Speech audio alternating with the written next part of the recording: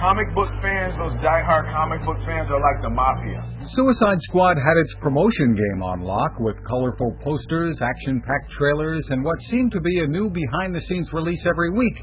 However, it wasn't enough to fool fans once they saw the final product in theaters.